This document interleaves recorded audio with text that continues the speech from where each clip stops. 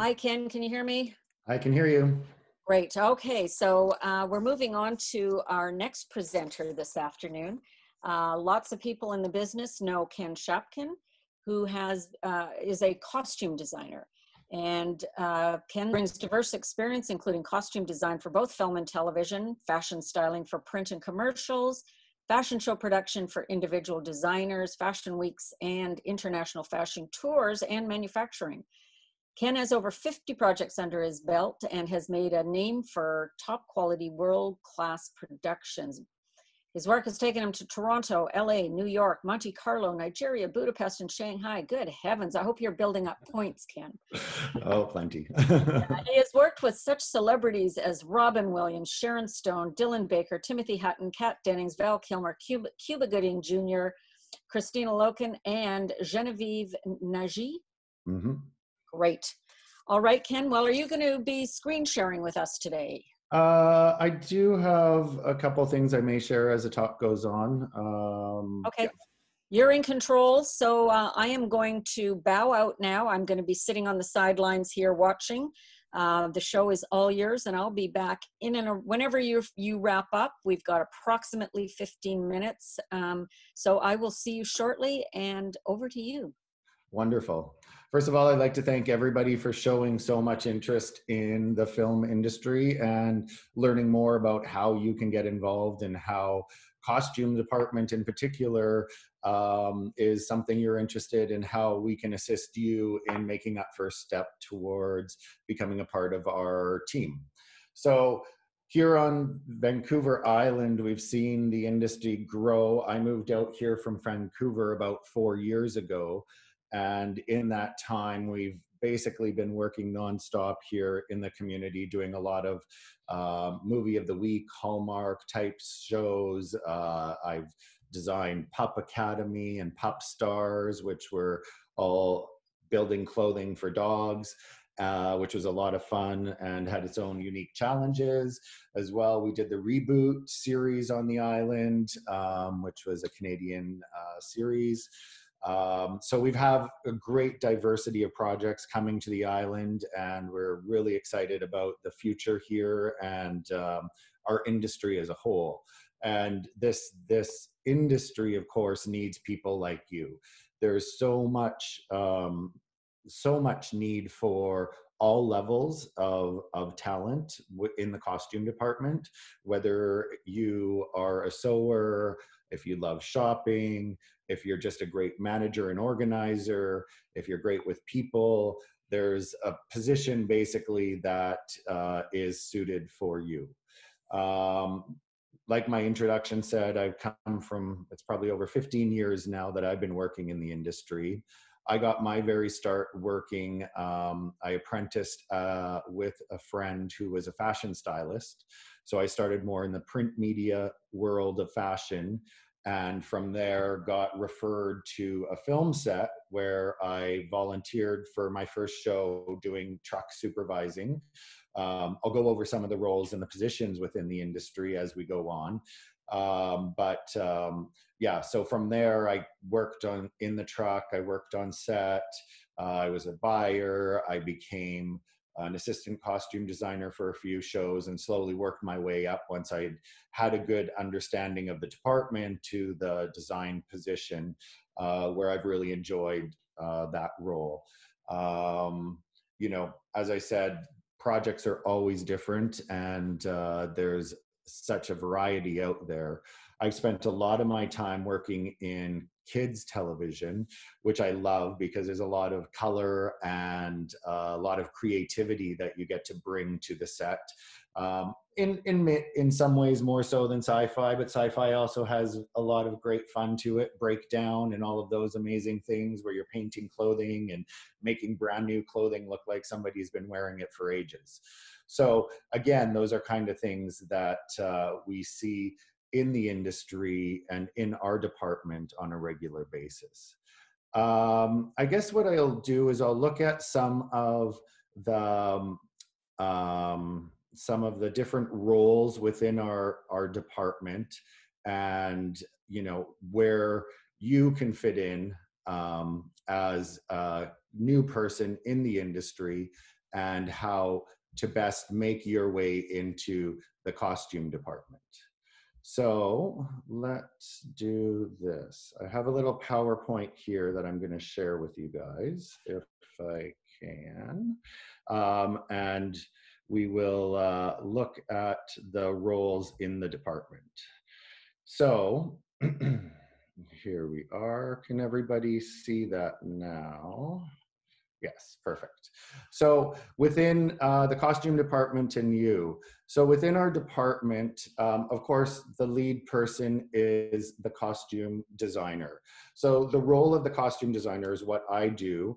Um, so we're basically given a script and we have to go through that script and develop the characters based upon what we read in the script.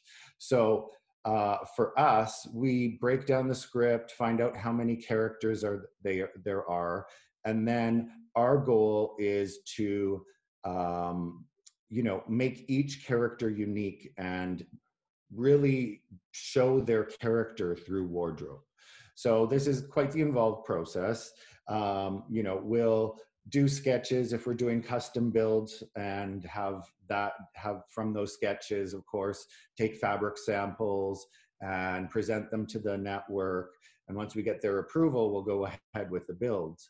A lot of the times on movie of the weeks we're just using um, pre pre-made clothing from stores. So a lot of shopping involved and putting together looks for each of the characters. It's also very important to make sure what our overall view is in each scene. So once we have one character done we have to figure out what all the other characters are wearing so again the designer is responsible for looking over all of those things in addition to department head um, um, roles like your crewing your budgeting uh, your sourcing, um, all of those kind of things, and communicating with the actors, directors, producers.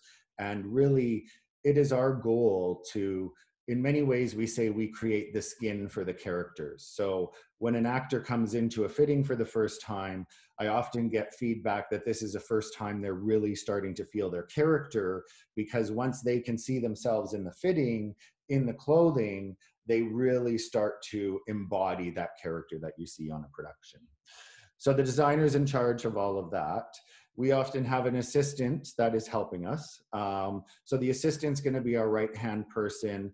They're often involved in a lot of the same things. They'll assist us with the drawing, with the research, with the shopping, with the fittings.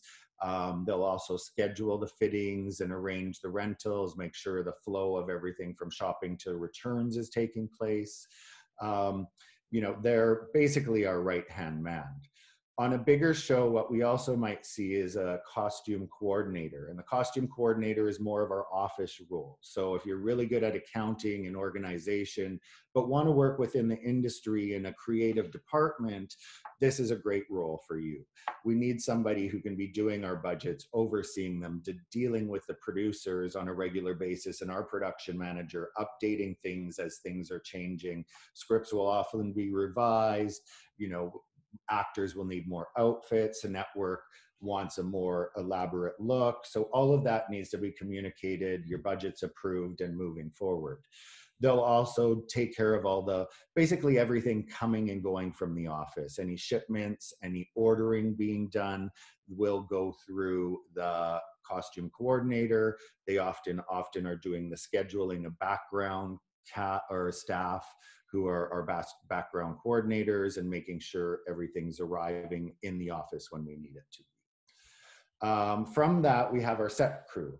So the set supervisor is the main person in the costume department that is actually taking care of the actors on set. So because we're doing fittings, I'm not always on set. The designer's often back and forth. I'll come to set whenever a new outfit is being established. So I make sure it's being worn the right way, the jewelry's the right, right for it, and that the producers and directors, if they're seeing it for the first time, are happy before it's going forward.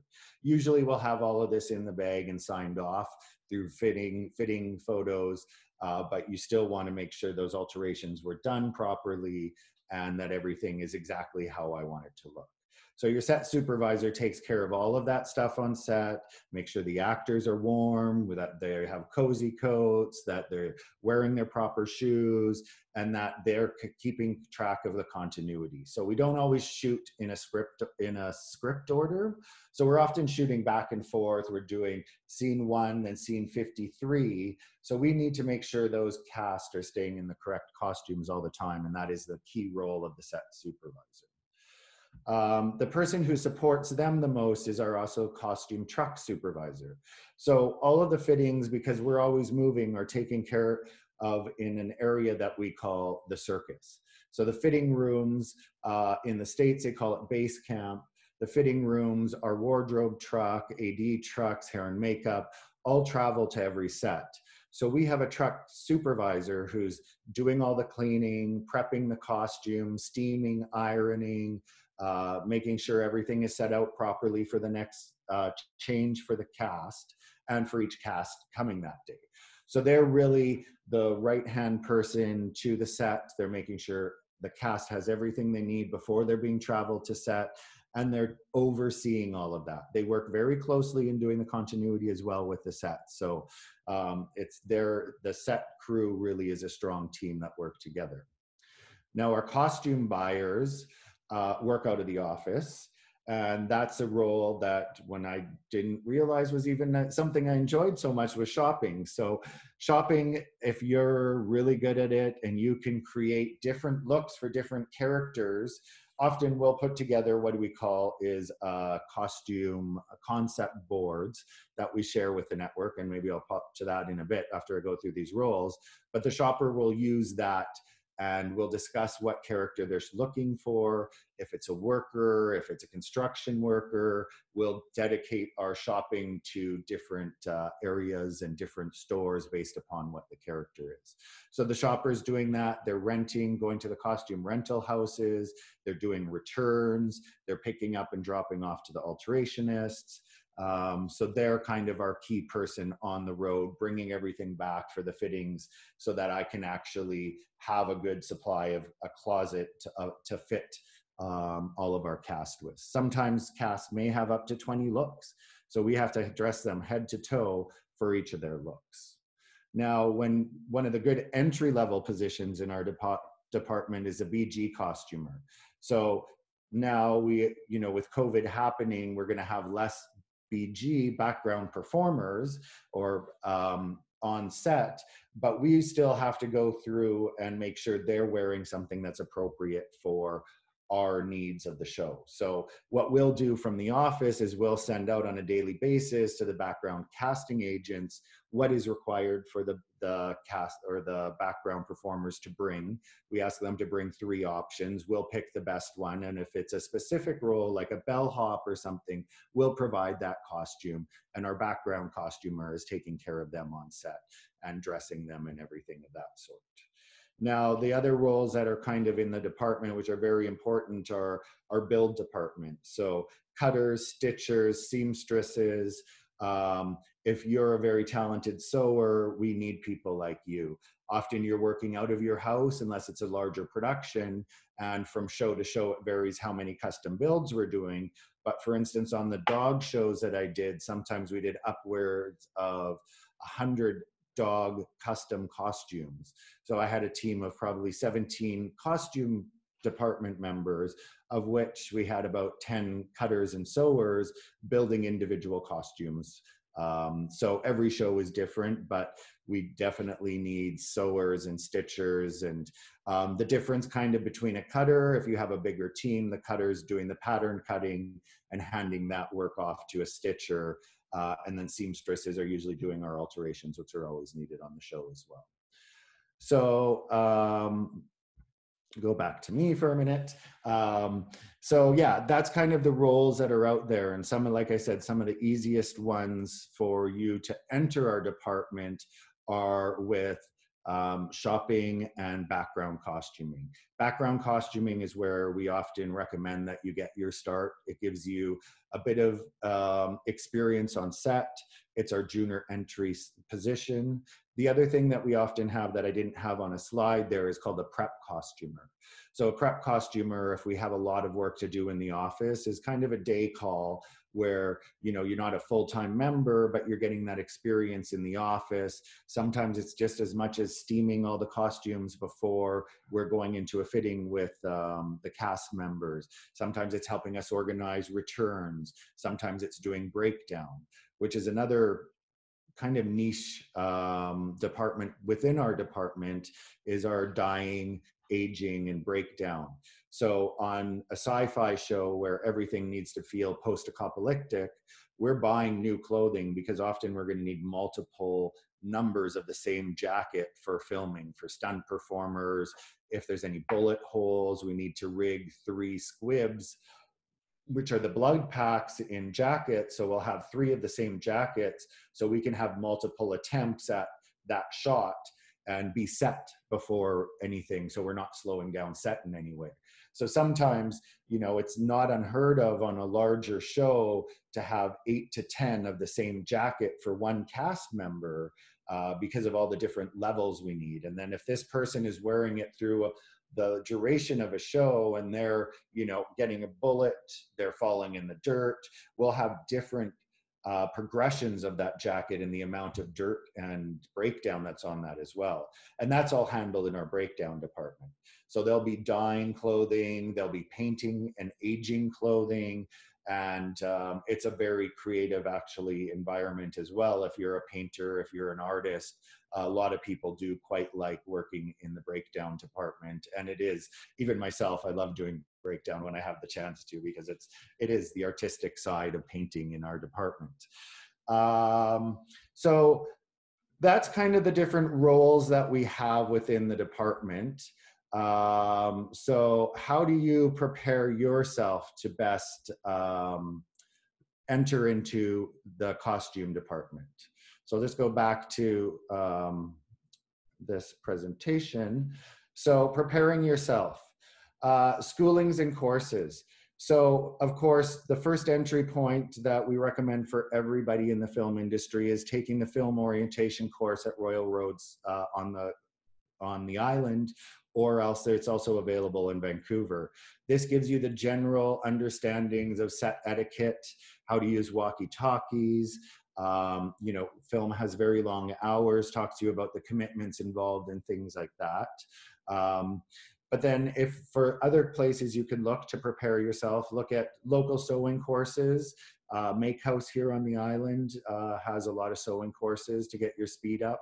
Depending on what position you're taking in our department, it's always good to be able to know at least how to sew on a button, you know, do little hems in case of emergency on set. Um, there's full course programs you can look at either at Cap College in BC or in Vancouver has an amazing costume department uh, film for stage, film, and uh, stage. Um, UBC has film production and design, which does cover costuming, but it's only an element of that. Uh, Pacific Design Academy has fashion courses, pattern making courses. All of those are going to get you in the right direction. I'm going to jump over that slide. Um, so where do you look for the job? I'm just to, I know we're tight on time uh, and I want to get to some of your questions as well, but some of the resources to finding your first job in film. So for myself, um, I was like everybody who got a job in this film is you have to be very dedicated to breaking into the film industry and finding every which way you can so the vancouver south film commission has a production list and they have a posting board for your availability so you can upload your resumes and your work experience under the costume department once you have some training. Um, the dgc production list uh, which uh, can be found on the DGC Canada website or BC website as well, lists all the productions happening in Vancouver and on the island. So that'll give you the contact information for all of those. Send your resume in, attention to the costume designer, and they'll make sure it gets into our hands. And then Facebook groups is another great place. Like uh, I know there's independent film Facebook uh, groups for non-union shows also all the film schools and theaters get out there volunteer to work on the costume department. Many times you're going to have to volunteer but it's all about work ethic. So once people see that you're dedicated that you're here to actually advance and that you're serious about this um, then you're going to get referred to uh, other shows. And then, of course, once you have the experience, you're going to want to look into the unions. I'm a member of both IATSE 891, 891, which is the Theatrical Stage Employees Union, and a member of the ACFC West Union. So both of those, you can check out their websites uh, for their requirements and what is needed to be in the film industry. I Wonderful. And thank, thank, thank you um, so much. Um, there's so much that goes on in your department. Um, it's amazing to be keeping track of all of it. Mm-hmm. Um, so we've got uh, we've got a number of questions that have come in while you've been talking here. Uh, let me see. Uh, let's start with a question from Janice. Can you give some examples of clothing that appear to be wardrobe when in fact they're actually a costume that you had to design? Um, examples of that. Uh, it's always tough. I mean, the dog shows, we designed everything. Um, that was one of the, a good example of something you can't buy necessarily. When you think about the items you're buying for a dog in a store, they're all designed so that when you look down from above on the dog, you're seeing the details. So they'll often cheat a tie on the back of the dress shirt on the back of the tie. But when we were filming uh, Pup Academy and Pup Stars, the camera is positioned here on the dog. So the very small place between their shoulders is where we had to have all the detail. So each and every one of those costumes had to be custom built. Um, otherwise, it's usually period clothing. Uh, right now, I've been working on the VC Andrew series, and uh, majority of the things we buy a lot of vintage. But we'll also build, you know, custom bayou looking house dresses for a cast that we needed multiples and to dirty because then we can't rent them if we need to break them down and age them a lot. So uh, a lot of the times the contemporary stuff would be the things that you think we bought, but we actually had to make ourselves. Make yourselves understood. Um, somebody was asking, uh, what was it like to witness the comedic genius of Robin Williams firsthand? Oh, I was so lucky to work on Night of the Museum, the last one. I think it was number three.